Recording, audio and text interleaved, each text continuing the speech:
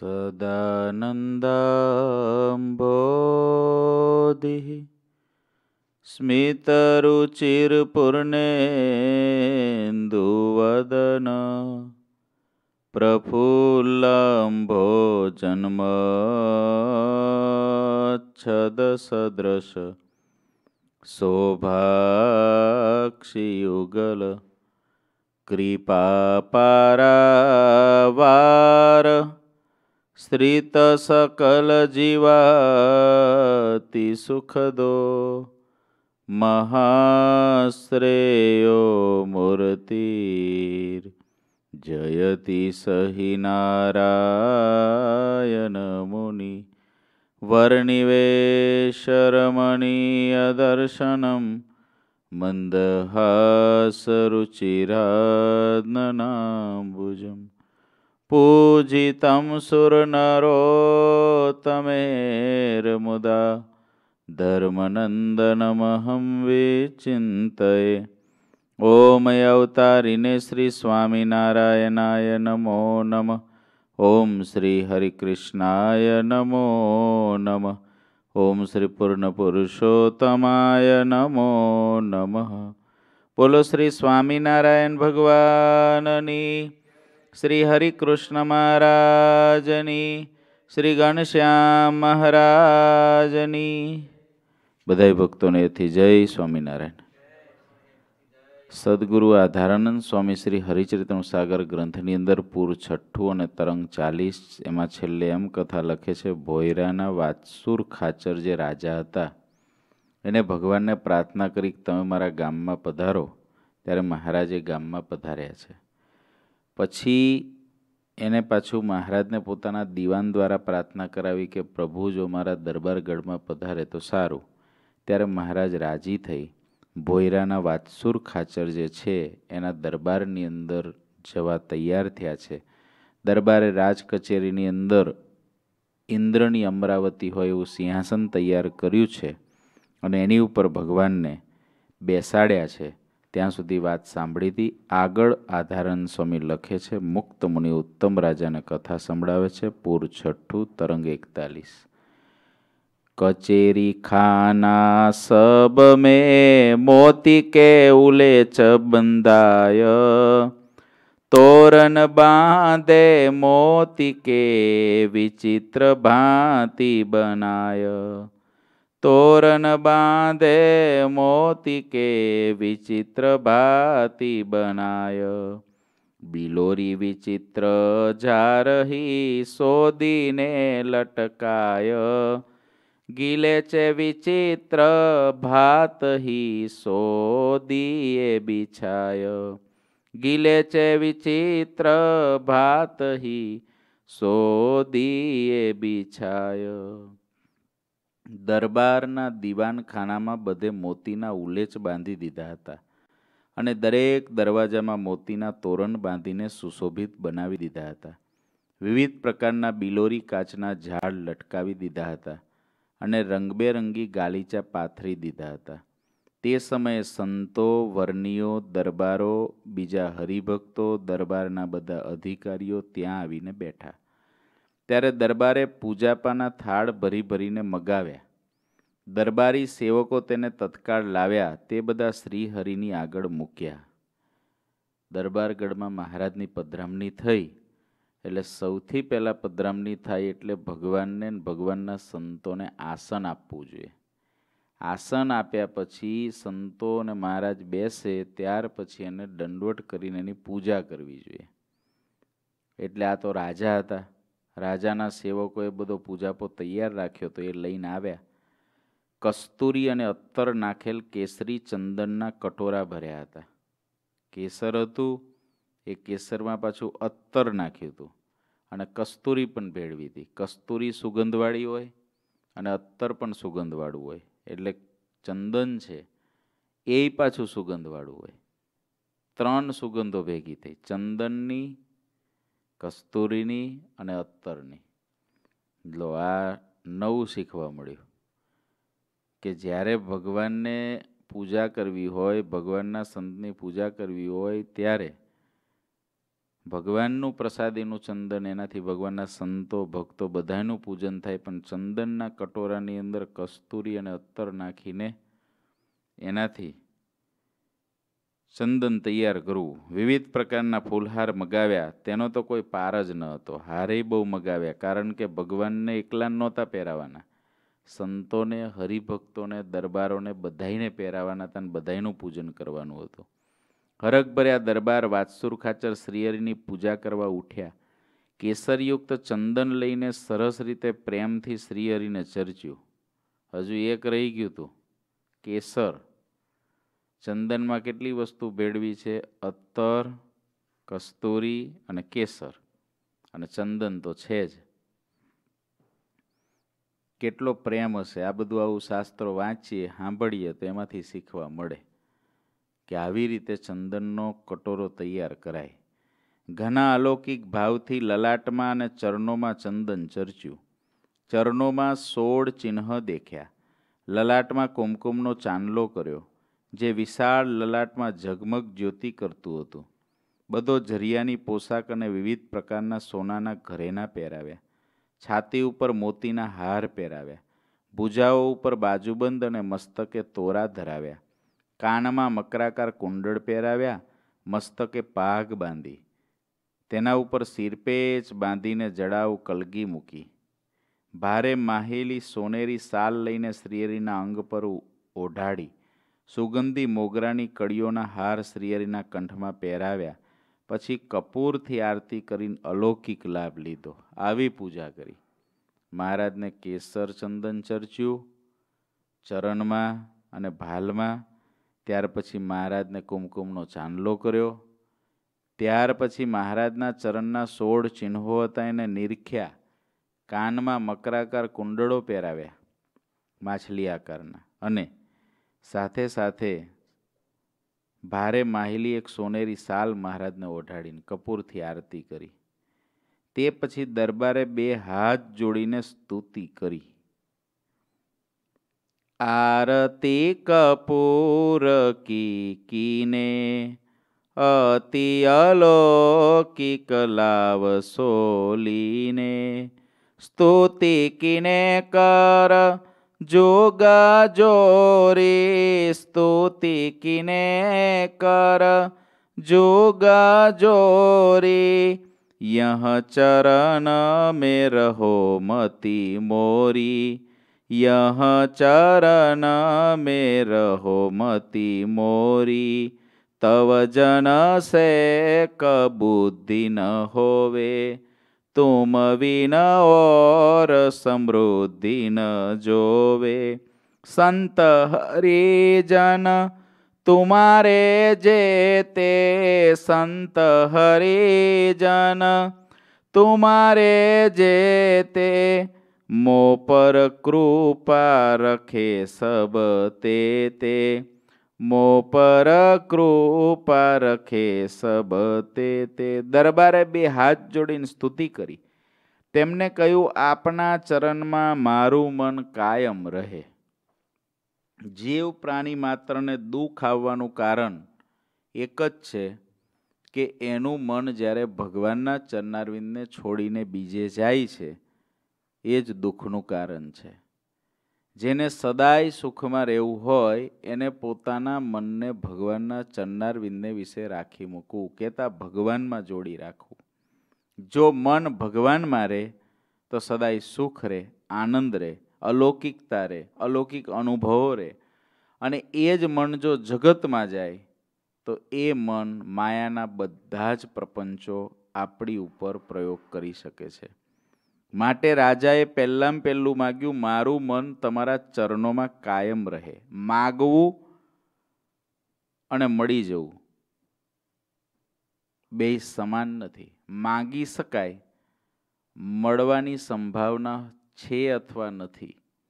કારણ કે સત્વગુણ જ્યારે મુમુક્ષુના હૃદયમાં હોય છે, આપણે બધા મુમુક્ષુ છીએ, એટલે આપણે જ્યારે સત્વગુણમાં હોઈએ ત્યારે આપણને સારા વિચારો આવે. આપણે બધું સારું જ માગીએ. પણ ખરેખર આપણી સો ટકા રુચિ જો આત્મામાં એવી બંધાયેલી ન હોય, તો ભગવાનને આપવું હોય છતાં પણ ન આપી શકે. ભગવાનના મોટા સાધુને દેવું હોય તો પણ ન દઈ શકે, કારણ કે આપણા આત્માની સાથે એ જે આપણી પ્રાર્થના છે કે મારું મન આવું રહે એવું ઠેક આપણો આત્માના સમજી લીધું હોય. આપણે વાત સાંભળી હોય, સત્વગુણમાં હોય એટલે એમ લાગે કે આમ મારું આમ કરજો. એમાં રાજા છે. એ રાજાએ અત્યારે પ્રાર્થના કરી છે કે મારું મન તમારા ચરણોમાં કાયમ રહે. આવો તમે મને રૂડા આશીર્વાદ આપજો. બીજું ભગવાનને એમ કે છે, તવ જન બુદ્ધિ ન હોવે. તમારા ભક્તોની સાથે ક્યારેય કુબુદ્ધિ ભર્યું વર્તન થાય નહીં. આપના સિવાય બીજી સમૃદ્ધિ ન જોઈએ. આપના સંતો અને હરિભક્તો બધા મારા ઉપર કૃપા દ્રષ્ટિ રાખે. વાત્સુર ખાચરે ફક્ત એમ ના કીધું કે, પ્રભુ, તમે મારી ઉપર કૃપા દ્રષ્ટિ રાખજો. એમને કીધું, પ્રભુ, તમારા સંતો, ભક્તો બધાય મારી ઉપર કૃપા દ્રષ્ટિ રાખે ને, આવી મારી ઉપર તમે કૃપા કરજો.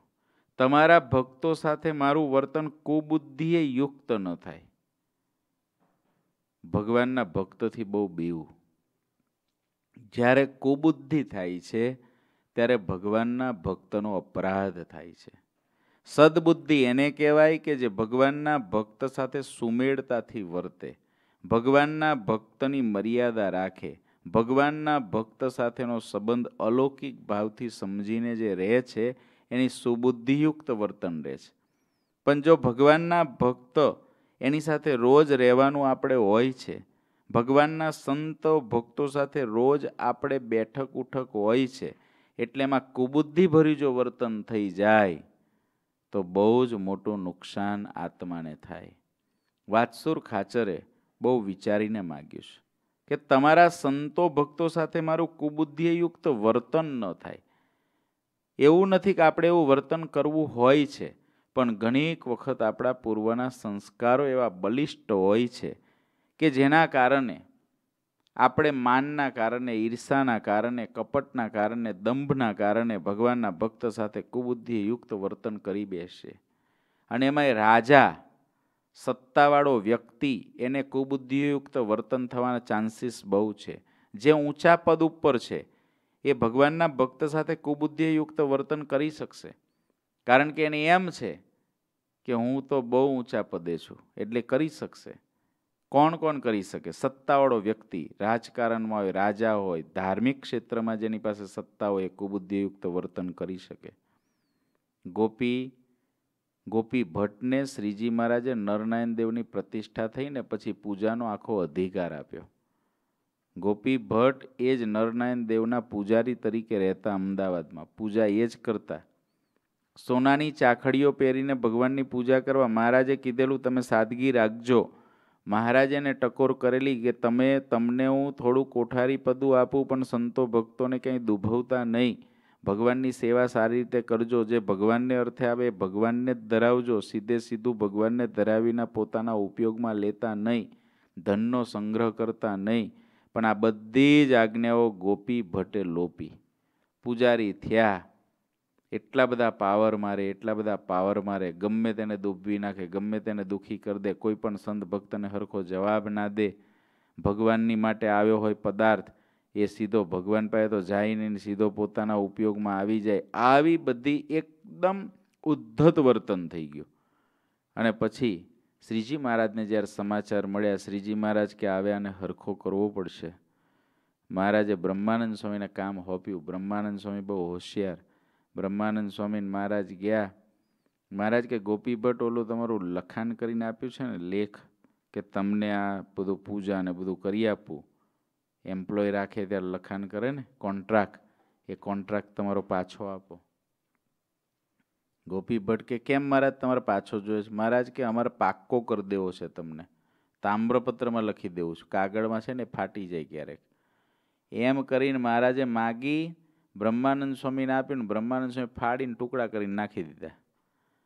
અને મહારાજે પદ ઉપરથી ઉતારી દીધો.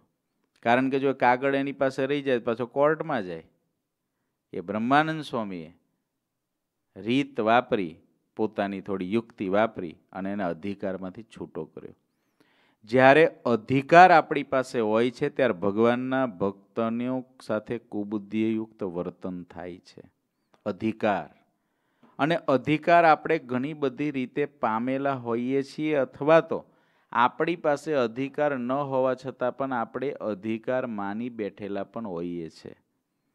સત્સંગની અંદર ઘણીક વખત આવું થવાના ચાન્સીસ વધારે છે. જેની પાસે અધિકાર છે, વ્યવહારનો અધિકાર છે, કોઈ બીજી પ્રકારની સત્તાનો અધિકાર છે, જે સત્સંગની અંદર થોડો જૂનો છે આ બધા પાસે અમુક અધિકારો હશે. એ અધિકારોના કારણે કોઈ ભગવાનના સંત કે ભક્ત એની સાથે કુબુદ્ધિયુક્ત વર્તન થઈ જાય તો નુકસાન બહુ મોટું થાય. ગોપાળન સ્વામી ગામડા ફરવા જતા હતા. એક સાધુને કીધું, મારી સાથે તમારે આવવાનું છે જોડમાં. તો ઓલા સાધુએ ગોપાળન સ્વામીને એવું કીધું કે, મેં એવો શું ગુનો કર્યો? મારે તમારે ભેગા આવવાનું છે. મેં એવો તો શું ગુનો કર્યો છે? તે મારે તમારે ભેગા આવવાનું છે. હવે ગોપાળન સ્વામી ભેગા જવા મળે, તો એ ગુને, ગુનો કહેવાય કે નસીબ કહેવાય? પણ કુબુદ્ધિ. મેં એવો શું ગુનો કર્યો છે? તે સ્વામી કે તમારો સ્વભાવ છે ને, બીજાનું અપમાન કરવાનો બહુ છે. એટલે તમારા સ્વભાવને છે ને થોડો હરખો કરવા માટે લઈ જવાના જ તમને.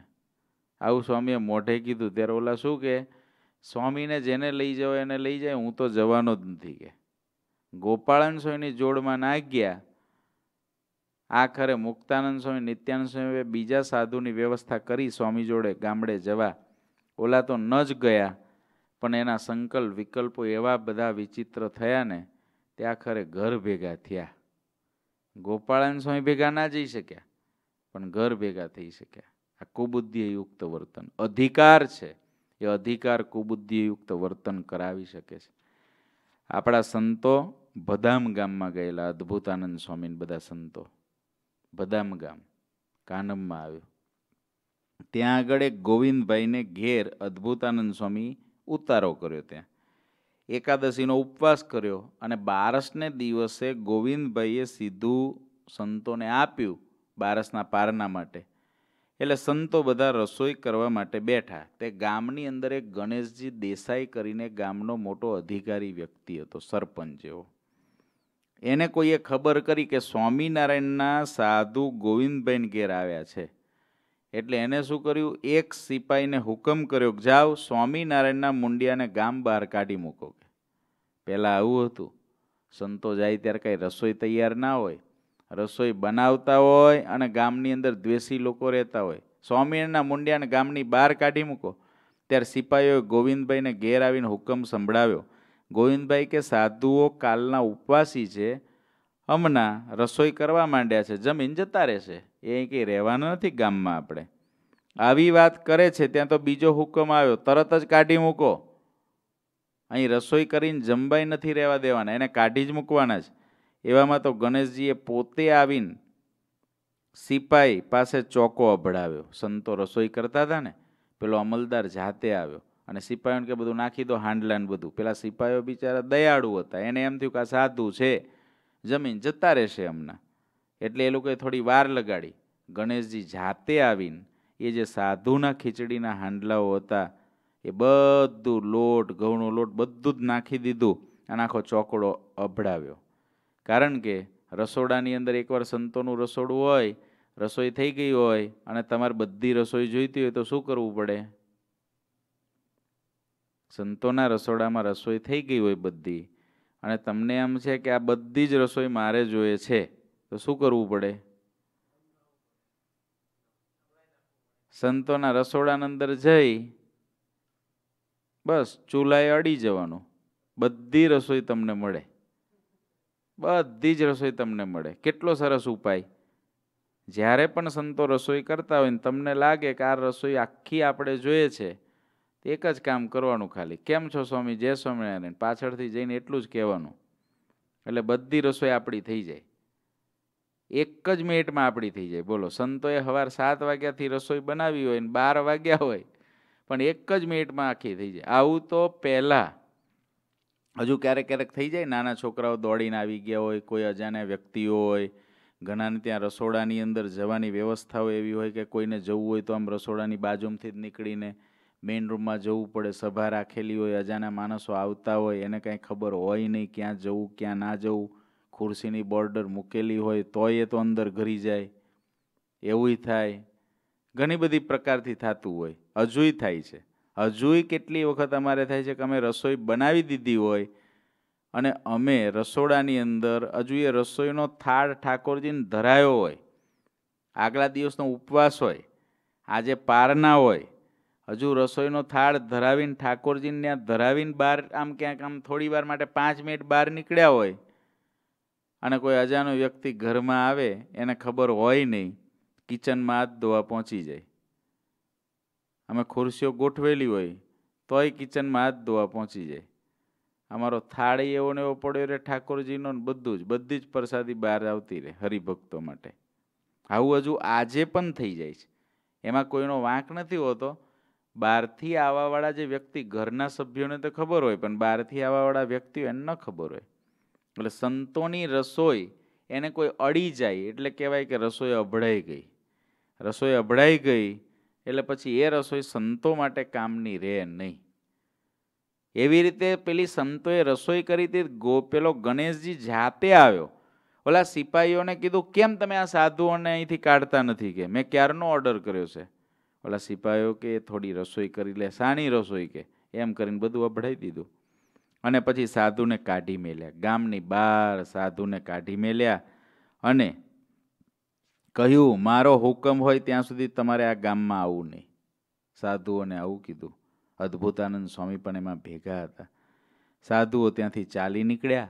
ભૂખ્યા અને ભૂખ્યા. તમે વિચારો, કેવો કેવો એ જમાનો હશે જે જમાનાની અંદર ભગવાન સ્વામિનારાયણને માનવાવાળા મુઠ્ઠીભર લોકો હતા. ઝાઝા નહોતા. સંતો ગામડે જાય ત્યારે આવી દશાઓ થતી. આજે કેવો યુગ? આ કેવો યુગ? એ લોકોની પરિસ્થિતિ કેવી? આપણી પરિસ્થિતિ કેવી? અને છતાંય આપણે ભગવાન ના ભજી શકીએ. એ આપણી અવડાઈ કહેવાય. તોય આપણે ભગવાનમાં વૃત્તિ ન રાખી શકીએ તો અવડાઈ કહેવાય. અમારી કહેવાય ને તમારી કહેવાય. કારણ તમારે બધાને નાત બારા રહેવું પડતું અને અમારે બધાઈને આમ ભૂખ્યા ને તરસ્યા રખડવું પડતું, લોકોનો મારને ગાળો ખાવી પડતી. અમારા માથે જે દુઃખ હતા એમાંનું અત્યારે અબજમાં ભાગનું દુઃખ અમારી ઉપર નથી. અને તમારા માથે જે ઉપાધિઓ આવતી, એના અબજમાં ભાગની ઉપાધિઓ તમારા માથે નથી. અત્યાર તો જેટલું વિઘન છે ને બધું આપણા આળસને પ્રમાદનું છે. આપણા કલ્યાણમાં જે કંઈ વિઘન છે એ આપણું આળસ અને આપણા પ્રમાદ બેનું વિઘન છે. અત્યારનું વિઘન આ છે. અત્યારે આપણા હાંડલા કોઈ નાખી નથી દેતું. અત્યારે આપણે કાંઈ ઉપવાસ કર્યો એને પ્રોબ્લેમ નથી થઈ જતો. કોઈ આવું કરવા આવે. અત્યારે એવું નથી થતું કે હરિભક્તોને નાતબારા મુકાય. અત્યારે તો આળસ ને પ્રમાદ જે કરવાનું છે, નથી થતું, નથી કરવાનું એ થાય છે. અને જાજો ટાઈમ કરશું, થશે. આમ જાય છે. આળસ ને પ્રમાદ જ અત્યારે આપણા મોટા મોટા શત્રુ છે. ગોવિંદભાઈને મનમાં બહુ દુઃખ થયું, પણ કાંઈ કરી ના શકે. ઓલો અમલદાર હતો, સત્તાવાળો હતો. શ્રીજી મહારાજને પ્રાર્થના કરવા માંડ્યા ત્યારે આઠમે જ દિવસે સરકારે ગણેશ દેસાઈનો હુકમ રદ કર્યો. ઘરબાર સગડું લૂંટી લીધું. ઘરમાં કાંઈ ખાવા ન રહ્યું. આઠ જ દિવસમાં ફળ મળી ગયું સાધુના અપરાધનું. ઘરમાં સાઠ માણસ હતા એ બધા મરી ગયા. સાઠ માણસ ઘરના એક આરે મરી ગયા. હાવ ગરીબ જેવો થઈ ગયો. ભગવાનના ભક્તના અપરાધે પૂર્વનું કાંઈક પુણ્ય હોય એ ખૂટી જાય તો આવું દુઃખ થાય છે. સ્વામીને જ્યારે આ બધી વસ્તુ ખબર પડીને મહારાજને ગઢપુરમાં ભેગા થયા અદ્ભુતાનંદ સ્વામી કે, મહારાજ, અમે તો કંઈ આવું વિચાર્યું નહોતું કે એનું ભૂંડું થાય. તો એ કેમ થયું? મહારાજ કે, જે મારા સાધુનો અપરાધ કરે, જે મારા સાધુ સાથે કુબુદ્ધિયુક્ત વર્તે, એનું ફળ એને મળે જ છે. સ્વામીને ઘણું દુઃખ થયું કે, અમે તો આવો સંકલ્પ નહોતો કર્યો. શા માટે એને દુઃખ થયું? પણ થઈ જાય, અપરાધ કરે. કુબુદ્ધિયુક્ત વર્તન એટલે વાતસુર ખાચર કે છે, પ્રભુ અમારાથી તમારા સંતો ભક્તો સાથે કુબુદ્ધિયુક્ત વર્તન ન થાય. આટલું ધ્યાન તો આપણે બધા મુમુક્ષુએ રાખવું જ જોઈએ કે આપણાથી સંતો ભક્તો સાથે કુબુદ્ધિયુક્ત વર્તન, અયોગ્ય વર્તન ન થાય. કદાચ આપણી અંદર કાંઈ ગુણ એવો વર્તતો હોય ને, પગે લાગીએ, ઓછું બોલીએ ત્યારે. ત્યારે બહુ આમ તેમ વર્તીએ નહીં, બહુ આમ વિનયથી થોડા ભલે દૂર રહીએ, પણ વિનયથી. પણ ભગવાનના ભગત સાથે જ્યારે આપણી અંદર આવેગ હોય, આપણી અંદર રજોગુણ, તમોગુણના બરાબર વાવાઝોડા ચાલતા હોય, ત્યારે ભગવાનને, ભગવાનના સંતને, ભગવાનના ભક્તથી છે ને, આપણું વાહન પંદર ફૂટ દૂર રાખવાનું. કારણ કે કુબુદ્ધિયુક્ત વર્તન ત્યારે આપણી સામે જે કોઈ આવે એની સાથે થઈ જાય. ભગવાન આવે ને તો ભગવાન હારે થઈ જાય. ભગવાનના સંત આવે તો એની હારે થઈ જાય. મુક્તાનંદ સ્વામી જેવા સાધુ હોય તો એની હારે થઈ જાય. અને પર્વતભાઈ દાદા ખાચર જેવા હરિભગત હોય ને તો એની સાથે પણ થઈ જાય. કુબુદ્ધિયુક્ત વર્તન, ગુણનો વેગ એવો છે. અને એમાં સત્તાવાળા અધિકારવાળા હોઈએ, ત્યારે તો બહુ સાવધાન રહેવાનું. અધિકારવાળાથી આવું બધું થવાના ચાન્સીસ બહુ છે. જેના હાથમાં સત્તા છે, જેના હાથમાં અધિકાર છે, જેના આશરે પાંચ, દસ, પચીસ, પચાસ વ્યક્તિઓ છે, જેને ફોલો કરે છે, એવા વ્યક્તિને બહુ સાવધાન રહેવાનું, એનાથી અપરાધ વધારે થાય. એની કુબુદ્ધિ થવાના ચાન્સીસ વધારે છે.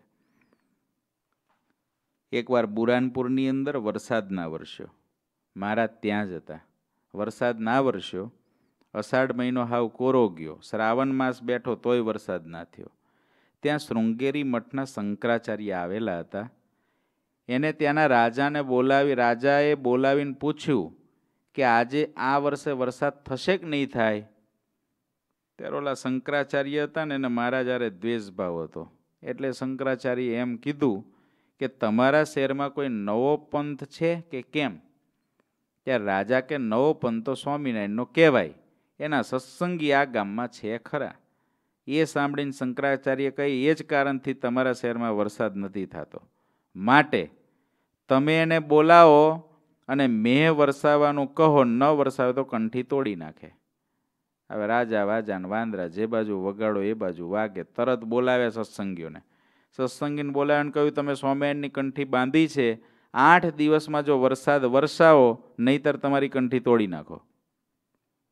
સત્સંગીઓ બોલ્યા, કંઠી તો અમારે શીર સાટે છે. વરસાદ વરસાવો કે ના વરસાવો, એ ભગવાનના હાથની વાત છે. અમારા હાથની વાત નથી. રાજાએ હુકમ કર્યો, આ બધાને આઠ દિવસ સુધી એ કોરડામાં પૂરી દો. બોલો, આવું દુઃખ આવે છે આપણે? આવું દુઃખ છે? તિલક ચાંદલો કરવામાં, ચોટલી રાખવામાં, કંઠી પહેરવામાં કોઈ આપણને જેલમાં નાખી દેશ? ડુંગળી લસણ નહીં ખાવામાં બહારનું નહીં ખાવામાં કોઈ આપણને જેલ આપે છે? ફાંસીએ ચડાવે છે? નથી ચડાવતા. આ લોકોને કંઠી માટે આઠ દિવસ ઓરડામાં પૂરી દીધા. જેલમાં પૂરી દીધા. વરસાદ વરસવો જોઈએ આઠ દિવસમાં, નહીં તો કંઠીઓ તોડો કે સ્વામિનારાયણના ધર્મને લઈને જ અમારા રાજ્યમાં વરસાદ નથી પડતો. શંકરાચાર્યએ આવા ચડાવ્યા. એ ગામના શૃંગેરી મઠના ધર્મગુરુએ આવા ચડાવ્યા રાજાને. પછી પાછું વરસાદ, જો વરસાદ વરસાવે તો છૂટા કરવા, નહીતર ઢીંગલાનો કપાળમાં ડામ દઈને પરગના બહાર કાઢી મેલવા. પાછો કપાળમાં ડામ આપવાનો. ગરમ ગરમ એવી લોઢાનો, એવી એવી છાપ હોય, એને ગરમ કરે, ગરમ કરીને કપાળની અંદર એ દામ આપે. અને બીજા રાજ્યમાં કાઢી મૂકવાના. સિપાહીઓએ બધા સત્સંગીઓને ઓરડામાં પૂરી દીધા. આ બાજુ શ્રીજી મહારાજને ગઢપુરમાં ખબર પડી, મહારાજને ચિંતા થઈ. મહારાજને રાતનું જમવાનું પણ ના ભાવ્યું. મારા ભક્તો ઉપર આવું દુઃખ આવ્યું છે. અને પછી ભગવાન રાત્રે એક પત્ર લખવા બેઠા.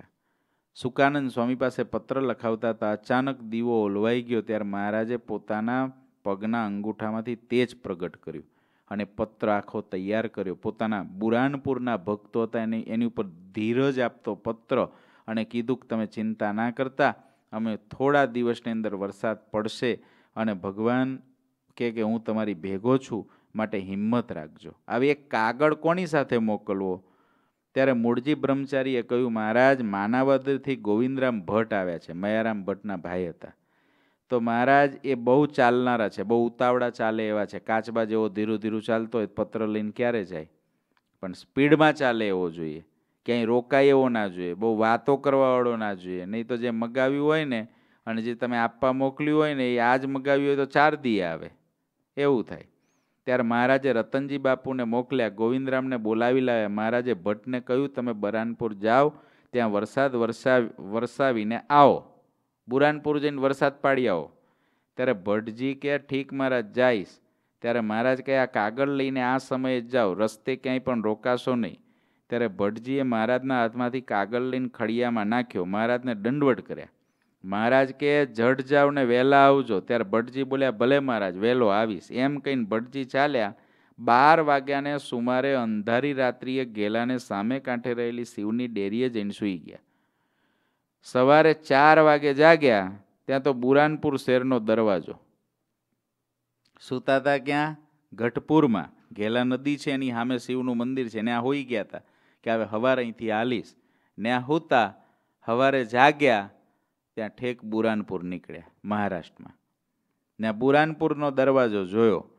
તાપી નદીનો કાંઠો દીઠો, પછી કોઈને પૂછ્યું, આ શહેરનું નામ શું? ત્યારે ઓલા કે બુરાનપુર. પછી ભટજીએ પૂછ્યું, અહીં રાજાએ સ્વામિનારાયણના સત્સંગીઓને કેદ કર્યા છે? જેલમાં પૂર્યા છે? ક્યાં છે? ત્યારે તે કહે, કેદખાનામાં એક ઓરડો છે, એમાં પૂરેલા છે. તે ભટજી ત્યાં ગયા, સિપાહીનો પહેરો હતો, પણ કોઈને પણ તે કાંઈ બોલ્યા જ નહીં. ભટજીએ હરિજનોને જાળીમાંથી કાગળ આપ્યો.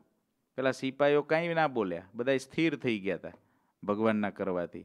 કાગળ હરિભક્તોને જેલમાં આપ્યો. જય સ્વામિનારાયણ કયા ત્રણ દિવસમાં વરસાદ થશે એમ કહ્યું. એ સાંભળીને હરિજનો ખુશી થયા. મહારાજનો કાગળ વાંચીને શાંતિ પામ્યા. ભટજીને કહ્યું, તમે રોકાજો. ત્યારે કહે, હું હમણાં તાપીમાં નાહીને આવું છું. એમ કહીને તાપી નદીએ નાવા ગયા. કાંઠે ખડીઓને લુગડા મેલીને પાણીમાં ડૂબકી મારી ને નીકળ્યા ત્યાં તો ઘેલા નદીએ ખડખડીએ પાછા અવતાર્યા ઠેક તાપીમાં કેટલા કિલોમીટર ને માઇલો દૂર? અહીં તમે અમેરિકાની અંદર નાયગ્રા ફોલ્સની અંદર નાવા પડો અને સીધા ઇન્ડિયા નીકળો. પાછા ઇન્ડિયા પડો તો સીધા અહીં નીકળો. એવું આશ્ચર્ય થયું. એટલે દૂર સુધી પાછા અવતાર્યા પછી નાઈન લુગડા પહેરીને ખડીઓ લઈને ગામમાં ચાલ્યા. ત્યારે સાધુએ પૂછ્યું, ભટજી, આજ મોડા કેમ? ત્યારે કહે, અરે સ્વામી, હું તો આજ તાપી ગંગામાં નાયો અને ઘેલામાં પણ નાયો. એમ કહેતા અક્ષર ઓરડીએ જઈને મહારાજને દંડવટ કર્યા. ત્યારે મહારાજે કહ્યું, ભટજી, તમે તો આજ બુરાનપુરને પાદર તાપી ગંગામાં નાયા અહીં ગેલામાં પણ નાયા ત્યારે કે મહારાજ, હું તો અહીંથી ચાલ્યો, પણ અંધારું બહુ હતું. એથી ગેલાન કાંઠે શિવની ડેરીમાં સૂઈ ગયો. પછી સવાર ચાર વાગે તો તમે મને બુરાનપુર પહોંચાડ્યો અને પછી કાગળ હરિજનોને દઈને તાપીમાં નાવા ગયો, તે પાણીમાં ડૂબકી મારી, તો તમે મને ગેલાના ખડખડિયામાં પુગાડ્યો. આ સાંભળીને સુખસ્વામી આદિક સૌ રાજી થયા. પછી બુરાનપુરના હરિજનોને સિપાઈ સાથે રાજાને કેવડાવ્યું, અમને અમારા સ્વામિનારાયણ ભગવાનનો કાગળ આવ્યો છે, આજથી ત્રીજે દિવસ વરસાદ થશે. ત્યારે રાજાએ પાછું કેવડાવ્યું, વરસાદ વરસશે ત્યારે તમને છોડશું, અને જો વરસાદ ના વરસ્યો, તો તમારી કંઠીઓ તોડીને તમને કપાળમાં ડામ આપીને આ રાજ્યની બહાર કાઢીશું. ત્રીજે દિવસે મહારાજના કહેવા પ્રમાણે બહુ જ વરસાદ થયો. રાજાએ સત્સંગીને કેદમાંથી બહાર કાઢ્યા અને કહ્યું, તમારા ભગવાન સ્વામિનારાયણ સાચા છે. તમે પણ સાચા સત્સંગી છો. પણ વરસાદ એટલો બધો વરસાવ્યો ને મહારાજે, એટલો બધો વરસાવ્યો.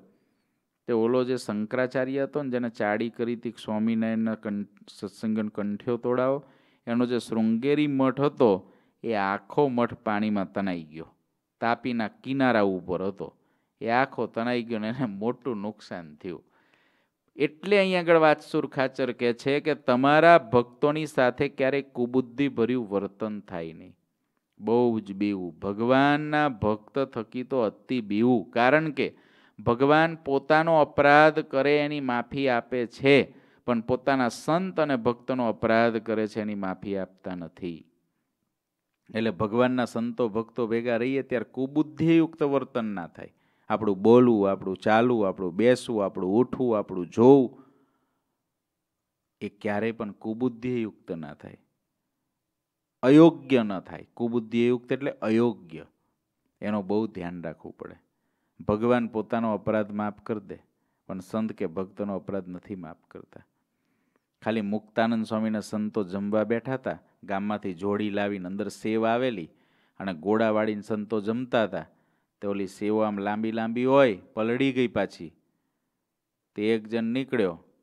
એણે જોયું. એને ખાલી સંકલ્પ થયો. બોલ્યો કાંઈ નહીં. એને સંકલ્પ એટલો જ થયો.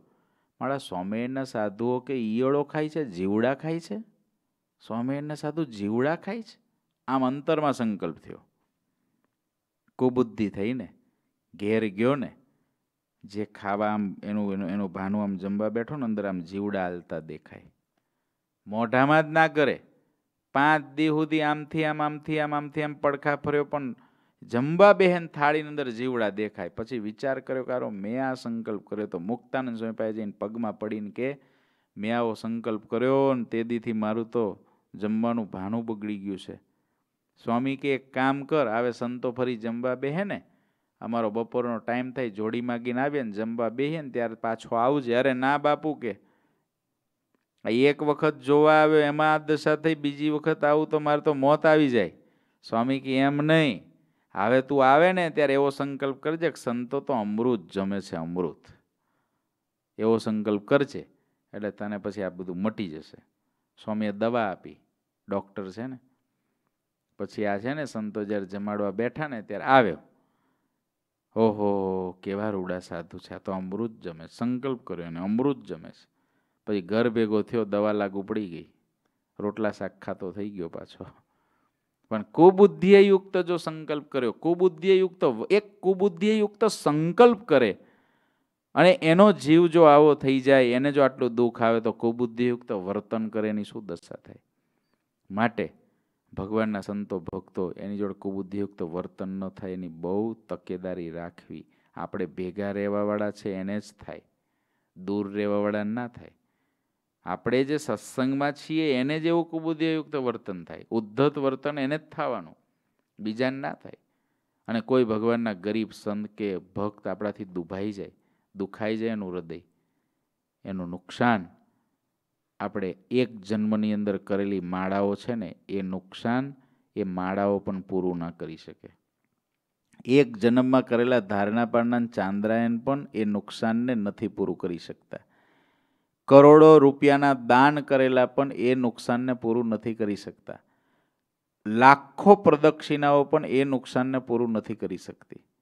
અનંત કથાઓ કરવી અને સાંભળવી એ પણ એ નુકસાનને પૂરું નથી કરી શકતી. એટલું નુકસાન એ વાતમાં છે. પણ એ વાત ઉપર ફોકસિંગ બહુ ઓછાનું હોય છે. એ વાત ઉપર નજર બહુ ઓછાની હોય છે કે રખે મારાથી કોઈ ભગવાનના ભગવદીય સંત ભક્તનો અપરાધ ના થઈ જાય. હું કુબુદ્ધિએ યુક્ત એની સાથે વર્તી ના જાઉં, આની ઉપર નજર બહુ ઓછી હોય છે. આપણી નજર ઘણી વખત ધારણા પારણા પર હોય, આપણી નજર ઘણી વખત ચાંદ્રાયનો ઉપર હોય, આપણી નજર ઘણી વખત દાન ધર્માદા ઉપર હોય, આપણી નજર ઘણીક વખત પ્રદક્ષિણા, ભજન, માળા, કીર્તન એની ઉપર હોય, પણ આની ઉપર ઘણી ઓછી હોય. સેવા ઉપર આપણી નજર હોય, પણ એ બધાઈને જેવી રીતે એક સુનામી આવે અને આખું શેર સરસ મજાનું બનેલું હોય પણ સુનામી આખા શેરને તારાજ કરી દે. એમ આપણા તપ, ભજન, સેવા, શ્રદ્ધા, ધર્મ, નિયમ એ આખું કરેલું, તૈયાર કરેલું આધ્યાત્મિક શેર. એને ભગવાનના ભક્ત અને સંત સાથે કરેલું કુબુદ્ધિયુક્ત સંકલ્પ અને વર્તન એ રૂપી સુનામી એક સેકન્ડની અંદર બધું ખાક કરી નાખે. આટલી તાકાત એમાં છે. માટે એનાથી બચીને ભગવાનના ભક્તએ બહુ ગરીબપણું પકડીને ભગવાન ભજવા. મહારાજે વચનાવતમાં કીધું, જેને ભગવાનને રાજી કરવા છે, એને તો ગરીબપણું પકડવું ભગવાનના ભક્તે તો ગરીબપણું ગરીબપણું જેટલું આપણામાં હોય ને, એ જ આપણી સાચી શોભા છે. ગરીબપણું છે ને, એ જ આપણું કવચ છે. ગરીબપણું છે ને, એ જ આપણી વાળ છે. ગરીબપણું છે ને, એ જ આપણી સેફટી છે. ગરીબપણું છે ને, એ જ આપણું સેફ તિજોરી છે. જેટલું હોય. ગરીબપણું હા પાજી પડાવની છાયામાં ડબાવાનું નથી. કુસંગીની જોડે ગરીબપણું જરૂરી નથી. એને તો વેન ઉપર વેન લાવવાનું છે. ફરી આપણી સામે ક્યારેય જીભ ના ઉપાડી શકે ભગવાન કે ભગવાનના સંત કે ભક્તનું ઘસાતું બોલવામાં. એવું એની ઉપર વેન ઉપર વેન લાવવાનું છે. કુસંગી ઉપર, સત્સંગના દ્રોહી ઉપર, ભગવાનને મોટા પુરુષના દ્રોહી, એની સામે તો વેન ઉપર વેન લાવવાનું. ને આ ગરીબપણું નથી રાખવાનું. પણ જે ભગવાનના, ખરેખર ભગવદીય ભગવાનના સંત ભક્ત છે, ને તો ગરીબપણું. એ જ આપણી શોભા, એ જ આપણી મૂડી, એ જ આપણી રક્ષા, એ રહે માટે અહીં વાતસુર ખાચરે આ માગ્યું છે, મનુષ્યનું આ શરીર પંચભૂતથી બન્યું છે તેમાં કાંઈ સાર નથી. હાડકાં, માંસ અને ચામડામાંથી તે બનેલું છે, તેની અંદર મળ અને મૂત્ર ભર્યા છે. આ શરીરનું હવે વર્ણન આવે છે. વ્યતિરેક એવો જીવ આ શરીરમાં અન્વયપણે રહ્યો છે. તેના યોગથી આ શરીર ચૈતન્ય જેવું જણાય છે. વ્યતિરેક એટલે જુદું, અન્વય એટલે ભેગું. આત્મા છે એ આ શરીરથી જે જુદો છે એને વ્યતિરેક કહેવાય. અને આત્મા આખા શરીરમાં ઠેક માથાથી માંડીને પગના નખ સુધી આખા શરીરમાં વ્યાપ્ત છે એને અન્વય કહેવાય. એ શરીરમાં અન્વયપણે રહ્યો છે. તેના યોગથી આ શરીર ચૈતન્ય જેવું જણાય છે. જે આત્મા શરીરથી હાવ નોખો છે. પરંતુ આ શરીરની સાથે ભેગો થઈ ગયો છે એટલે આ શરીર ચૈતન્ય જેવું જણાય છે, હલતું જણાય છે. પણ જ્યારે એ આત્મા નીકળી ત્યાર પછી આ શરીરને હલાવવું હશે તો પણ હલશે નહીં. હાથને આમ ઊંચો કરશો ને તો પાછો આમ પડી જશે. કોઈ મરી ગયેલો વ્યક્તિ હોય, એનો હાથ આમ ઊંચો કરો. તો રે હેઠો પડી જાય. એને આમ બેસાડ દો અને બાંધો નહીં તો આમ બેઠો રે પડી જાય. કારણ કે અંદરનો આત્મા નીકળી ગયો. એની અંદર જે ચેતનતા દેખાય છે, આત્માની છે, તો આ શરીર ચૈતન્ય જેવું જણાય છે. એ ચૈતન્યના યોગ વિના દેહ તો જળ છે. તેલયુક્ત વાટને જ્યારે અગ્નિનો જોગ થાય ત્યારે દીવો પ્રગટે છે. તેનાથી પ્રકાશને દાહકતા અનુભવાય છે. વાટથી અગ્નિ છૂટો પડી જાય તો તેમાં અગ્નિનો ગુણ રહેતો નથી. દીવો આપણે પ્રગટાવ્યો હોય, એને અડો તો દાહક લાગે. પ્રકાશ પણ થાય. પણ એ દીવાને ઓલવી નાખો અને પછી વાટને થોડી વાર પછી અડો તો ગરમ લાગે. થીજી જાય, ઠરી જાય. આવી ઠંડી હોય તો ચોસલું પડી જાય, જો ઘી હોય તો. એવી દશા થાય. પણ જો દાહક હોય તો ઓગળેલું રહે. જો દીવો પ્રગટેલો હોય તો ઓગળેલું રહે. એમ આમાં આત્મારૂપી દીવો પ્રગટેલો હોય ત્યારે શરીર હલતું ચાલતું દેખાય છે. વાટથી અગ્નિ છૂટો પડી જાય તેમાં અગ્નિનો ગુણ રહેતો નથી. આવી જ જીવ અને શરીરની રીત છે. જ્યારે જીવને પ્રધાનપણે દેહનું અભિમાન આવે છે, ત્યારે દેહના ગુણો જીવમાં આરોપિત થવાને લીધે જીવ વિપરીત ગુણવાળો થઈ જાય છે. જીવ તો બહુ સારો છે. આત્મા તો એકદમ ચોખ્ખો છે. આત્માની અંદર કોઈ પણ પ્રકારનો દોષ છે જ નહીં. પણ એ આત્મા જ્યારે શરીરના ભાવને પોતાને વિશે માની લે છે કે આ શરીરના જે ભાવ છે એને સુખ મળે તો હું સુખી થઉં એવી જે માનીનતા જીવમાં આવે છે, ત્યારે એ જીવ આખો દેહરૂપ થઈ જાય છે. એટલે દેહના સુખે કરીને સુખી થાય છે, દેહના દુઃખે કરીને દુઃખી થાય છે. એને એનું અભિમાન ધારણ કર્યું છે કે આ હું છું એટલે. પણ જો એ એવું મનન કર્યા કરે કે આ શરીરથી હું તો જુદો છું, હું હાવ નોખો છું, આ હાવ નોખું છે. અમાર બેન કાંઈ લેવા દેવા નથી. આ તો ભેગા થઈ ગયા છે ભગવાનની ઈચ્છાથી. એક દી તો છૂટા જ પડવાનું છે. આવી જો એ સમજણ રાખે, તો એને જીવના જે સાચા ગુણો છે, આત્માના જે સાચા ગુણો છે, એનો અનુભવ થાય. એનો અનુભવ થાય. પણ આ જીવ છે, એ વારે વારે આ શરીરને પોતાનું માનીને, એનું અભિમાન ધારીને વિપરીત મતીવાળો થઈ જાય છે.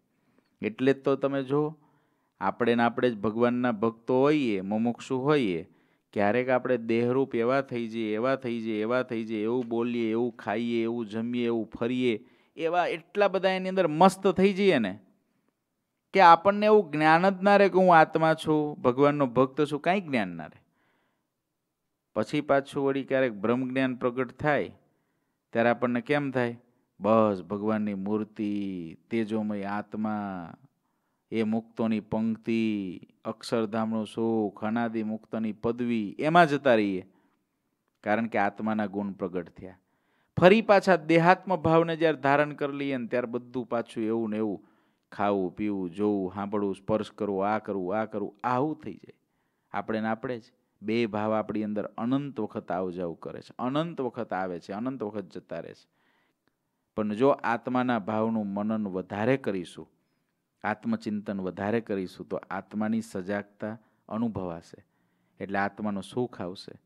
દેહાત્મ ભાવ છે ટળશે માટે એના વિચારમાં આપણે ધીરે ધીરે સતત મંડ્યા રહેવું. આવું આ તો વાતસુર ખાચરને આટલું જ્ઞાન છે, એટલે રાજાએ આટલું શ્રીજી મહારાજ પાસે પ્રાર્થના કરતાં કરતાં ઠાલવી દીધું. પછી કે છે, હે મહારાજ, અબ કહો તુમ વચન જેસા મેં રખો દ્રઢ કર તૈસા તુમારે વચન મેં વરતે જબહો કાલ માયા પીડે ન તબહુ વાતસુર ખાચર કે છે, મહારાજ, હવે આપ જેવું વચન કહેશો તેવું હું મારા જીવનમાં દ્રઢ કરીને રાખીશ. જીવ જ્યારે આપના વચન પ્રમાણે વર્તે, ત્યારે તેને કાળ અને માયા પીડે નહીં. આપણા વચનમાં રહેવાથી સંચિત, પ્રારબ્ધ અને ક્રિયમાને ત્રણેય પ્રકારના કર્મોનો નાશ થઈ જાય છે. જેથી જન્મ, મરણ અને લક ચોરાસી વગેરેનું બધું દુઃખ પણ ટળી જાય છે, પરિણામે જીવ સુખી થઈ જાય છે. દુઃખ માત્ર તો લક ચોરાસી જન્મ અને મૃત્યુનું જ છે. પણ ભગવાનના વચનમાં વર્તવાથી જન્મ મૃત્યુ શા માટે છે? સંચિત કર્મના ઢગલા છે એના માટે જન્મ અને મૃત્યુ છે. ત્રણ પ્રકારના કર્મ છે. ઘણી વખત આને સમજ્યા છે એટલે ટૂંકમાં આ વાતને લઉં છું. સંચિત કર્મ, ક્રિયમાન કર્મ અને પ્રારબ્ધ કર્મ. ક્રિયમાન એટલે જે કરીએ છીએ જે કરીએ છીએ એમાંથી જેના ફળ હજુ આપણે નથી ભોગવ્યા, સારું કે ખરાબ, એ જે કર્મ, જે કર્મનો સંગ્રહ જેની અંદર થયો, એનું એ કર્મનું નામ પડ્યું સંચિત કર્મ. આપણે કર્મ તો કર્યું, પણ એનું ફળ હજુ આપણને નથી મળ્યું. સારાનુંય નથી મળ્યું, ખરાબનુંય નથી મળ્યું. એક કર્મ જતું રહ્યું, સંચિત કર્મ તરીકે એને સિમ્બોલ લાગીને એ એક જગ્યાએ સંગ્રહાલયમાં જતું રહ્યું. પછીથી, જ્યારે આ જીવને મનુષ્યનો જન્મ આવે, ત્યારે એવા કરોડો સંચિત કર્મ ભેગા થયા હોય. કરોડો સંચિત કર્મ, સારા અને ખરાબ, બંને પ્રકારના. એમાંથી ભગવાન થોડું ઘણું ડ્રો જેવું કરીને ભેગું કરીને એક મટીરિયલ બનાવે, એનું નામ નસીબ. એને પ્રારબ્ધ કહેવાય. એમાં કેટલાક સારા કર્મોના ફળ પણ આવે, ખરાબ કર્મના પણ ફળ આવે. સારા કર્મના ફળના કારણે વ્યક્તિ આ લોકમાં સુખીઓ રહે. અને જે ખરાબ કર્મ છે, એ જે નસીબની અંદર આવી ગયું છે, એના કારણે એ સુખની અંદર પણ પાછો દુઃખ ભોગવતો રહે અને અનંત પ્રકારનું. તો એ પાછા એ પ્રારબ્ધ બન્યું, એ સિવાય હજુ તો ઘણા એના સંચિત કર્મો પડ્યા છે. પણ જે સત્સંગમાં આવે છે ભગવાનનો આશ્રિત થાય છે, કંઠી પહેરે છે. એટલે સૌથી પહેલાં ભગવાન શું કરે છે? મોટા પુરુષના આશરે, ભગવાનના આશરે જ્યારે આત્મા આવે, ત્યારે સંચિત કર્મ તો ભગવાન એના બાળી નાખે છે. ક્રિયમાન કર્મ એ પોતે કરતો નથી. કર્મને ભક્તિ રૂપે કરે છે. કહેતા જે ભગવાનની આજ્ઞા છે એ પ્રમાણે જીવે છે. ખાવું, પીવું, બેસવું, ઉઠવું. એટલે ક્રિયમાન કર્મ એનું નથી થતું. એનાથી ભક્તિ થાય છે. ક્રિયમાન કર્મ નથી થતું એટલે એનું ફળ એને ભોગવવાનું નથી. કારણ કે તો ભક્તિ કરે છે. ભગવાનની આજ્ઞા પ્રમાણે જ દરેક ક્રિયા કરે છે. અને જે નસીબ એનું બની ગયું છે, એને ભગવાનની ઈચ્છા જાણીને ભોગવે છે. બસ, મારા મહારાજની ઈચ્છા. મહારાજે મને જે દીધું, બરાબર દીધું છે. એટલે એના ત્રણે ત્રણ કર્મ ટળી જાય. ક્રિયમાન ટળી જાય, પ્રારબ્ધ ટળી જાય અને સંચિત પણ ટળી જાય. એટલે પછીથી એ આત્માનો છેલ્લો જન્મ આ શરીરમાં થાય. એટલે વાત્સુર ખાચરને મહારાજ કે છે અરે વાત્સુર ખાચર મહારાજને કહે છે, તમારા વચનમાં રહેવાથી ત્રણે ત્રણ કર્મનો નાશ થઈ જાય છે. લક ચોરાસીનું દુઃખ જતું રહે છે. આ શરીરમાં જેટલું મમત્વ હોય તે બધું ટળી જાય છે. જીવે શરીરમાં અહમ મમત્વને લીધે જ અપાર દુઃખ ભોગવવું ભોગવ્યું છે. જીવને અપાર દુઃખ ભોગવવાનું જો કોઈ કારણ હોય, તો શરીરમાં અહમ બુદ્ધિ અને મમત્વ બુદ્ધિ એને રાખી એના કારણે જે દુઃખીઓ થાય છે. તેને લીધે લક ચોરાસીના દુઃખનો પાર આવ્યો નથી. હવે મને એક આપણા સ્વરૂપનું જ જ્ઞાન સતત રહે આપણા સિવાયનું કાંઈ પણ મને સાર ન મનાય, બધું અસાર મનાય. દરબારની આવી પવિત્ર ભાવના જોઈને શ્રી હરિ ખુશ થયા અને બોલ્યા, હે દરબાર, જો તમે અમારું વચન રાખો તો હું તમને પ્રેમથી કહું. અમારું માનશો તો ખરા ને તમે? મહારાજ કહે છે. તો કહું. બાકી જો પછી માનવાના ના હોય તો તમને કહીને કામ શું? હેતપ્રીત ન હોય તો અમે કોઈને કાંઈ કહેતા નથી. ભગવાનની આવી રીત છે. હેતપ્રીત ના હોય તો બહુ કહેવું નહીં. ઘણાને તો ટેવ જ હોય. મારે તો સાચું કહેવા જોઈએ. પણ વિચારવું, એને હેતપ્રીત છે આપણી જોડે? સાચું કહીને શું કામ? એને હેતપ્રીત જ નથી, તો તમે એને સાચું કહો તો અવડવું પડે. હેતપ્રીત હોય તો સાચું કહેવાય. નહીં તો એ સાચું ના કહેવાય. મહારાજ નથી કહેતા. મહારાજ કે અમારે હેતપ્રીત હોય તો અમે એને કહીએ, બીજાને નથી કહેતા. તમને અમારા ઉપર પ્રેમ છે એવું જાણીને અમે આ કહીએ છીએ. મહારાજ કે અમે એવું જાણીએ છીએ કે તમને અમારા ઉપર હેત છે એટલે કહું છું. રાજા આગળ કાંઈ બોલવું હોય ને તો પહેલાં એની મરજી જોવી જોઈએ. મહારાજ પેલા વાતસુર ખાચરને કહે છે, તમે રાજા છો ને એટલે અમારે તમારી મરજી પાછી જોવી જોઈએ. તેની મરજી વિના કાંઈ બોલાય નહીં. જો કોઈ રાજાની મરજી દેખ્યા વિના બોલે તો એનો અધિકાર છૂટી જાય, પદભ્રષ્ટ થાય. જો એકવાર તેમની મરજી તૂટી તો ફરીવાર ઠેકાણે આવે નહીં. રાજા અરે એકવાર બગડે ને, પછી કોઈ દી મેળ ખાય નહીં. સત્તાવાળા વ્યક્તિ અરે બહુ આમ લિમિટેશનમાં બહુ વિચારીને વર્તવું પડે. ભલે ને કરોડો પ્રયત્ન કરવામાં આવે, રાજાઓનો આ સહજ સ્વભાવ છે. તે દરેક રાજા માત્રના દેહમાં રહ્યો છે. કહેતા અધિકાર માત્રમાં આવો સ્વભાવ હોય. જેની પાસે અધિકાર હોય વ્યક્તિએ ધ્યાન રાખવું જોઈએ કે મારો સ્વભાવ આવો ના થઈ જાય.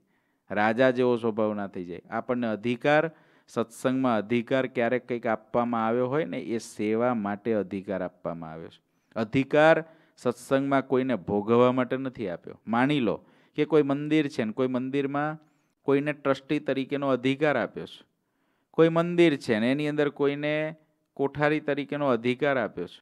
કોઈ મંદિર છે ને, કોઈને ભંડારી તરીકેનો અધિકાર આપ્યો છે. કોઈ મંદિર છે ને, એને કોઈ પ્રકારના વ્યવહારિક કાર્યોના નિર્ણય માટેનો અધિકાર આપ્યો છે. કોઈ મંદિર છે ને, એની અંદર કોઈને સિસ્ટમ ઓપરેટો કરવાનો અધિકાર આપ્યો છે. એવા અનંત પ્રકારના અધિકારો. એ અધિકાર નથી.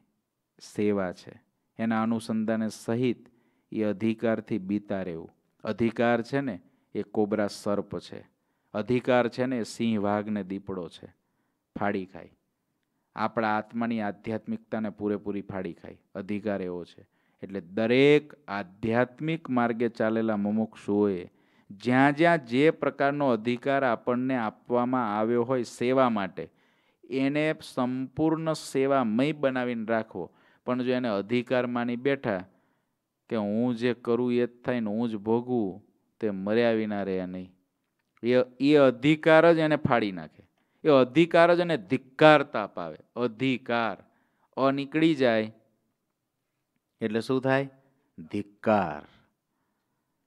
જે વ્યક્તિને અધિકારમાં સેવા ન જણાય, એ વ્યક્તિ ધિક્કારને પાત્ર બની જાય. ગમે એટલો મહાન હોય, ગમે એટલો મોટો હોય, ગમે એટલા સમયથી અધિકાર પર હોય, તો પણ જો એને અધિકાર, એને પોતાની સેવા તરફનો દ્રષ્ટિકોણ ન હોય કે આને અધિકાર શબ્દ તો એક વ્યવસ્થા માટે વાપરવામાં આવ્યો છે. ખરેખર આની ભાવનામાં સેવા સમાયેલી છે. સત્સંગની અંદર કોઈ પણ જગ્યાએ કોઈ પણ વ્યક્તિ અધિકારવાળો નથી. અધિકાર એક શ્રીજી મહારાજ પાસે જ છે. એ એક જ સ્વામી છે. બાકી બધા સેવક છે. બાકી બધા પાસે અધિકારનું જે સ્વરૂપ છે, એ અધિકારનું સ્વરૂપ સેવા માટે છે. બહારના એક વ્યવહારિક નિર્ણય માટે વ્યવહારિક સમજણ માટે અધિકાર શબ્દ વપરાય છે કે ચાલો ભાઈ આ પાંચ ટ્રસ્ટી છે, એ જેમ કરે એમ થાય. ચાલો ભાઈ આ કોઠારી છે, આ ભંડારી છે રસોડામાં આ નક્કી કરે એમ થાય. આ સિસ્ટમ ઓપરેટર છે સિસ્ટમમાં શું બદલવું, શું ના બદલવું, એમને પૂછવાનું છે. આ મેન્ટેનન્સ ખાતાના અધિકારીઓ છે મેન્ટેનન્સ કેમ કરવું, શું કરવું એની પાસે કરવાનું. આ બધાય અધિકારો એ સેવાકીય છે. એ ભોગવવા માટે નથી, ઘસાવા માટે છે. નહીં તો અધિકારનો હંમેશા સામે સીધો અર્થ શું થાય છે? અધિકાર એટલે શું? તો કે ભોગવવું. અધિકારને શું કરવાનો હોય? ભોગવવાનો હોય. પરંતુ સત્સંગની અંદર આખું વિપરીત છે, કારણ કે આ તો અલૌકિક છે. અધિકારમાં ઘસાવાનું હોય. સત્સંગ એવો છે. દુનિયામાં એવું છે, અધિકારી ભોગવે અને એ અધિકારી બધું ભોગવે અને એની નીચેનો વર્ગ હોય ને એની ફરજ હોય, એને ઘસાવાનું હોય. સત્સંગમાં એવું નથી. અધિકારીને ઘસાવાનું છે. જેની પાસે જેટલો વધારે અધિકાર એ એટલો વધારે ઘસાય. જો મોટા પુરુષો પાસે અનંતના કલ્યાણનો અધિકાર, અનંતને વર્તાવાનો અધિકાર મોટા પુરુષો પોતે કેટલાક ઘસાતા હોય? આખી જિંદગી પોતાની ઘસી નાખે. ત્યારે પાંચ જીવના માળ કલ્યાણ થાય. માટે એનાથી બીતા રહેવું. સર્પ, સિંહ અને ચિત્તાની મરજી પારખીને તેની સાથે ખેલ કરાય. તેની મરજી વિના તેની સાથે ખેલ કરાય નહીં. અને જો ખેલ કરવામાં આવે તો ચોક્કસ તેમાં કાંઈ મોટું વિઘ્ન થાય. જે મનુષ્ય રાજાની મરજીને ઓળખે તો તેને વિઘ્ન આવે નહીં. ઉલટાની તેને દિન પ્રતિદિન મોજ મળતી રહે. જો મરજીને ચૂકી જાય તો બધી મોજ મારી જાય છે. રાજાની સેવા કરવી તે તો નટના ખેલ જેવી છે. તે નટ ખેલી જાને તો મોજ મળે. અને જો ચૂકી જાય તો મોત મળે. નટને એવું થાય. તે રાજાની વાણી સફળ રહે છે. તે નિષ્ફળ જાય નહીં, તે રીજે તો બધું મળે ને ખીજે તો બધું જાય. આ રાજા આવા હોય. આવું મહારાજ વાતસુર ખાચરને કહેતા પહેલાં બધું વર્ણન કરે છે કે રાજાઓ કેવા હોય. રાજાનું હૃદય કોમળમાં પણ અત્યંત કોમળ હોય અને કઠોરમાં પણ અતિ કઠોર હોય છે. શ્રીહરિએ આટલી વાત કરી. વાત્સુર ખાચરને જે વચનો કયા તેવું બોલતા તો શ્રીહરિને જ આવડે. બીજાને આવું કહેવાય નહીં નહીં તો ફાંસીએ ચડાવી દે રાજા. કઠોર કરતાં કઠોર હોય ને કોમળ કરતાં કોમળ હોય ને રાજાનો બહુ વિશ્વાસ નહીં રાજાની મરજી જોઈને બોલવું ને આવું બધું એનો ઉપદેશ આપો, તો સૌથી પહેલાં જેલખાનામાં નાખે રાજા. આ તો શ્રીજી મહારાજને બોલતા આવડે આધારાનંદ સ્વામી કે, આપણે તો બહુ બોલવું જ નહીં, મૌન જ રહેવું. બોલતા તો શ્રીહરિને જ આવડે, બીજા કોઈથી તો રાજા આગળ ક્યારેય કાંઈ બોલી શકાય નહીં, અને પછી શ્રીહરિ ફરીને બોલ્યા, હે દરબાર, હવે જે વચન કહીએ છીએ, જો તમારી મરજીમાં આવે તમને ગમે તો તેને કબૂલ કરજો, ન ગમે, ન ફાવે તો તજી દેજો. મહારાજને વાતસુર ખાચર પર વિશ્વાસ નથી બહુ કે આ મારું બધું વચન માનશે. ભલે એને કીધું કે મને તમારામાં બહુ પ્રેમ છે ને તમે કહેશો એમ કરીશ ને આ બધું બહુ કીધું, પણ તોય મહારાજને જોઈએ એવો હજુ હૃદયમાંથી આમ હા નથી પડતી કે આને હું કહીશ ને આ બધું માનશે. નહીં તો મહારાજ એમ જ કહી દેત કે જો અમે તમને આજ્ઞા કરીએ છીએ કે તમે આમ આમ કરજો. પણ મહારાજે શું કીધું? અમે તમને કહીએ છીએ, તમારી મરજીમાં આવે અને ગમે તો રાખજો અને ન ફાવે તો તજી દેજો. શ્રીજી મહારાજ પાછા કહે છે, અમે સાધુ છીએ, તમે રાજા છો. અમારે તમારી પાસે કાંઈ કામ નથી. સાંભળી લો પાછા પાછા મહારાજ પોતાના કેફમાં આવે છે, રાજાના પ્રભાવમાં આવી જાય એમ નહીં. અમે સાધુ છીએ ને તમે રાજા છો. અમારે તમારી પાસેથી કોઈ સ્વાર્થ નથી. અમારે તમારી પાસે કોઈ કામ નથી. જે રાજાઓના પણ રાજા પરમેશ્વર છે, તેમની આગળ બીજા કોઈનું કંઈ ચાલતું નથી. પરમેશ્વરના દરબારમાં તો દિવાન ધર્મ છે અને ધર્મનું વચન પ્રમાણરૂપ ગણાય. પરમેશ્વર રાજા છે અને એમનો દિવાન ધર્મ છે. એ ધર્મ જેમ કે એમ રાજા કરે છે. જ્યારે ધર્મની સહી થાય ત્યારે પરમેશ્વર રૂપી રાજા તે વાતને સ્વીકારે અને માને છે. અહીંયા જેવા રાજા હોય તેવા દિવાન હોય દિવાન હોય છે અને જેવા રાજામાં ગુણ રહ્યા હોય તેવા ગુણ દિવાનમાં પણ આવે છે. હે દરબાર, પરમેશ્વરની મરજીને અમે જાણીએ છીએ. એટલે તેમની મરજી પ્રમાણે અમે તમને કહીએ છીએ, કોઈ માણસ ચોરી કરે ને, તો પણ ક્યારેય મનુષ્યને દેહાંત દંડ દેવો નહીં. કોઈને મારી નાખવો નહીં. કોઈ માણસ મોટી ચોરી કરે તો તેને કેદમાં રાખવો. પછી તપાસ કરીને તેને કંઈક દંડ કરવો. ગરીબ હોય તો તેને સજા કરવી. પછી તેના જામીન લેવા. જેનો કોઈ જામીન ન થાય તો તેને જન્મટીપની સજા કરવી. તેને કબજે રાખીને તેની પાસે કામ કરાવવું. જેથી તે ફરીને ક્યારેય દુષ્કર્મ કરે નહીં. જામીન લીધા વિના ચોરને ક્યારેય છોડી મૂકવો નહીં. તેને બમનો દંડ કરવો જેથી તે ફરીને ભૂલ કરે નહીં. આ વાતસુર ખાચર શું કરતો ગોઠણ ભાંગી નાખે. કોઈ ચોરી નાની કરે ને તો એ સીધો એને મારી નાખવાનો. ફાંસીની સજા આપી દે. મહારાજ કે, તમે આટલો ફેરફાર કરો. આવી અમે પરમેશ્વરની ઈચ્છાથી તમને આજ્ઞા કરીએ છીએ. આવું વાતસુર ખાચરને કીધું. જો વાતસુર ખાચરની આગલી સ્તુતિ કેવી છે? મને તમારામાં બહુ પ્રેમ છે. તમે કોઈ એમ જ મારે કરવું છે. તમારા ચરણામાં મારું મન રહે, આવું કરજો. તમારા સંતો ભક્તો સાથે કુબુદ્ધિયુક્ત વર્તન ન થાય, આવી મને બુદ્ધિ આપજો. કેટલું બધું માગ્યું છે. હવે મહારાજે કીધું કે, મહારાજે એમ ના કીધું, જો ભગવાન બરાબર તમે ધ્યાન રાખ્યું હોય તો કથા સાંભળવામાં આગલા તરંગોમાં ઘણા બધા ક્યાંક ક્યાંક રાજાઓએ માગ્યું છે. ત્યારે મહારાજે તરત એમ કીધું છે કે અમે તમને એવો વર આપીએ છીએ. અમે તમને એવું વરદાન આપીએ છીએ. અહીં મહારાજ એક પણ વખત બોલ્યા નથી કે અમે તમને આવું વરદાન આપીએ છીએ. મહારાજે સીધું રાજા કેવો એનો ઉપદેશ ચાલુ કર્યો. પછી મહારાજે આ કીધું કે તમે આ પ્રકારના ફેરફાર કરો દંડની અંદર. રાજા દિવાન પટેલ તેમની મરજી જોઈને બધા ચોર ચોરી કરતા હોય છે. રાજાની મરજી જોઈને જ ઇન્ડિયાની અંદર ચોર ચોરી કરીને ગયો હોય. પકડાય જ નહીં. પણ જો ઉપરથી ઓર્ડર આવે કે ચાર દિવસમાં પકડાઈ જવો જોઈએ, તો ખબર જ હોય આ લોકોને કે આ શેરીમાં જ રહે ચોર. પોલીસવાળાને ખબર ઓલો જતાં પહેલાં ફોન કરીને જાય કે સાહેબ ચોરી કરવા જઉં છું આ જગ્યાએ. પાંચસો તમને આપીશ. આ બાજુ આવતા જ નહીં આજે. એ લોકોને ખબર જ હોય કોણ ચોર છે, ક્યાં જવાનો છે, ક્યાં એને હંગર્યું છે, ક્યાં મૂક્યું છે, બધી ખબર હોય. રાજા, દિવાન ને પટેલ એમની મરજી જોઈને બધા ચોર ચોરી કરતા હોય છે. ખબર જ હોય કે રાજા જ આવો છે. હાલે. આજે ભારતની અંદર કરપ્શન ઓછું થતું થતું જાય છે અત્યારે. પહેલાં કરતાં ઘણું બધું ઓછું થઈ ગયું. કેમ તો કે ભાઈ રાજા એવો છે. ઉપાધિ થશે. લેવું હશે તોય ઉપાધિ થશે. ટાઈમ ટુ ટાઈમ ઓફિસમાં હાજર થવું પડશે. કામ આપવું પડશે આટલું ગવર્મેન્ટને કેમ? રાજા એવો છે એટલે. રાજા જો એવો થાય તો બધી પ્રજા એવી થાય. કામ કરવાવાળા એવા થાય. તેમની મરજી વિના ચોરી થઈ શકે નહીં. પછી ઇન્દ્રિય બધી ઇન્દ્રિયો ચોર છે. અંતકરણ દિવાન છે. જીવ રાજા છે. મહારાજ જો વાત કરતાં કરતાં કેવું ગોઠવી દે છે. વાત કરતાં કરતાં પાછા આધ્યાત્મિકતા પર જતા રહે. ઇન્દ્રિયો ચોર છે, અંતઃકરણ દિવાન છે અને જીવ રાજા છે. મન, બુદ્ધિ, ચિત્ત, અહંકાર એ બધા દીવાન છે. જીવ રાજા છે. તે રાજાની મરજી હોય એટલે પેલા દીવાનો પછી ઇન્દ્રિયોને કે વાંધો નહીં, જવા દો, આંખને જ્યાં જવા દેવી હોય, કાનને જ્યાં જવા દેવી હોય, જવા દો. કારણ કે રાજા જ ગાફલ છે. તે ઉપરનાની મરજી વિના ક્યારેય કુમાર્ગે ચાલી શકે નહીં, નીચેના ધોરણ બહાર જાય નહીં. ત્યારે દરબાર વાતસુર ખાચરે હાથ જોડીને કહ્યું, આપ કાંઈ બીજું આજ્ઞા વચન કહો. તમે જે આ વચન કહો છો તે વચન પાળવું ઘણું કઠણ છે. આવી ગયા મૂળ લાઈન પર. પહેલાં કહી દીધું જે કહેવું હોય એ કહો. મને તમારામાં એ જ છે ને પ્રેમ છે. મહારાજે બધી વાત આગળ એટલે વિસ્તારથી કરી. હવે છેલ્લે એટલું કહી દીધું નિષ્કપટ ભાવે તમે કીધું ને એ કરવું મારા માટે બહુ કઠણ છે. બીજી કાંઈ આજ્ઞા હોય તો કહો.